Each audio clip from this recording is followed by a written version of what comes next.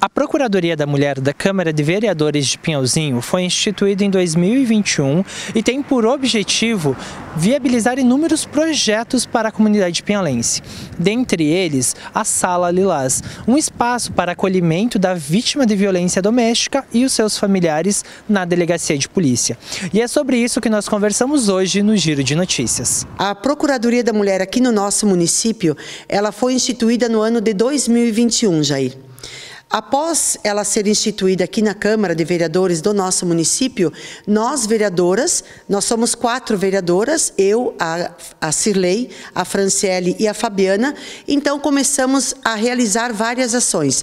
Começamos a participar de seminários, de congressos, de reuniões, até para nos inteirar do que compete à Procuradoria da Mulher. Então, para que a comunidade saiba, a Procuradoria da Mulher, ela é mais uma ferramenta, ela é mais um órgão que junto ao CRAS, que junto à OAB Mulher, que junto à Secretaria da Família, ao Executivo, à Câmara de Vereadores, à Rede Catarina, que também é muito importante, ela vem para fortalecer a implementação de políticas públicas para contemplar as mulheres que são vítimas da violência. Convidamos então para o uso da tribuna é, aqui da, da, Câmara de Vereadores o delegado do nosso município e assim que o delegado fez a sua fala, ele trouxe um número que nos deixou assim bastante surpresos, surpresas, de que 80% dos atendimentos que ele havia feito na cidade de Pinhalzinho eram em relação à violência contra a mulher. E como a gente é, sempre vai lendo e discutindo essa pauta, é, naquele momento nos veio então a questão de por que não em Pinhalzinho termos instalado a Sala Lilás. Já havíamos feito alguns debates e leituras sobre esse tema. Então, a partir daquele momento foi empenho da bancada feminina desta casa, da Procuradoria da Mulher, em descobrir o que era a Sala Lilás, qual era a utilidade da Sala Lilás e como conseguiríamos trazer para o nosso município. Não paramos mais, foram é, um ano e meio então buscando buscando a forma de implementação e agora com essa notícia maravilhosa, então, que logo estaremos aí é, tendo essa Sala Lilás no município de Pinhalzinho. Preciso destacar que a Sala Lilás é um espaço onde as mulheres vítimas de violência, elas vão ser acolhidas de uma forma diferenciada, um atendimento mais humanizado. A gente sempre fala que elas vão à delegacia, muitas vezes já com o rosto machucado, o seu emocional emocional abalado e precisam estar ao lado do agressor aguardando o atendimento. Com a sala Lilás, não. Essa mulher vai ter um espaço adequado, com uma equipe preparada para fazer esse atendimento e muitas vezes, né, Jair, essa mulher também vem com seus filhos para esse ambiente. Então, diante disso, é a importância de termos em Pinhalzinho a sala Lilás. Então, num primeiro momento, não tínhamos esse espaço na estrutura atual da delegacia.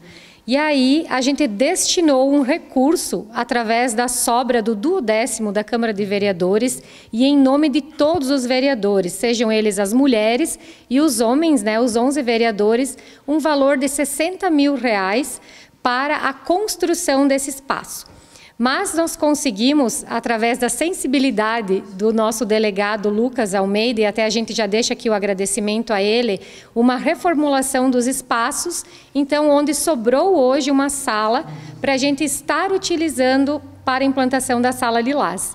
E agora, com esse recurso de 60 mil reais que a gente tem disponível, estaremos então ampliando essa sala, tornando ela um pouco maior e preparando ela é, desde a pintura, dos móveis, dos equipamentos, sejam eles os computadores, deixando ela redondinha para poder receber essas mulheres que sofrem a violência.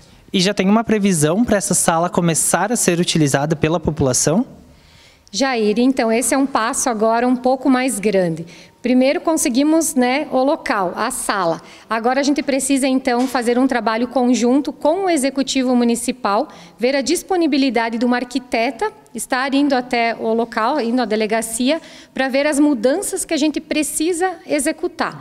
Aí, após isso, sim, então a gente vai fazer as mudanças necessárias e colocar em prática aí o atendimento na sala Lilás. A gente conseguiu a sala, agora estaremos buscando também a questão do efetivo, porque o atendimento passa não só pela, pelo espaço, que é infraestrutura, mas também pelo efetivo. E a gente sabe que o efetivo é uma demanda do Estado, né? Então, com certeza estaremos atrás de mais efetivo para o município de Pinhalzinho, porque aí nós precisamos de escrivão e outros profissionais. Hoje, se você tem uma denúncia, se você sabe de alguém, de uma vizinha, de uma amiga, não fiquem caladas. É, vocês podem nos procurar. Nós, como Procuradoria da Mulher, podemos encaminhar e estar tá ajudando essa mulher vítima de violência a ter uma vida melhor. Nós, da Procuradoria da Mulher, estamos abertos a qualquer denúncia. Não seria só a denúncia de vítima de violência, a gente está aberta a qualquer sugestão. Estamos aqui para acolhê-las.